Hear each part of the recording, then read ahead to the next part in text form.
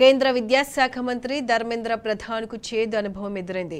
Yoga day వేడుకలో పాల్గొనేందుకు ఢిల్లీ యూనివర్సిటీకి వెళ్ళిన ఆయనకు అక్కడి విద్యార్థులు నల్ల జెండాలతో స్వాగతం పలికారు. బారికేడ్లను బ్రేక్ చేస్తూ ప్రధాన్ను అడ్డుకునే ప్రయత్నం చేశారు ఆందోళనకారులు. నీట్ అభ్యర్థులకు న్యాయం చేయాలని డిమాండ్ చేశారు. మరోవైపు కేంద్ర మంత్రి నివాసం ముందు ఆందోళనలకు దిగారు యూత్ కాంగ్రెస్ కార్యకర్తలు. దీంతో పోలీసులు రంగంలోకి దిగి పరిస్థితిని అదుపు చేసే ప్రయత్నం చేశారు.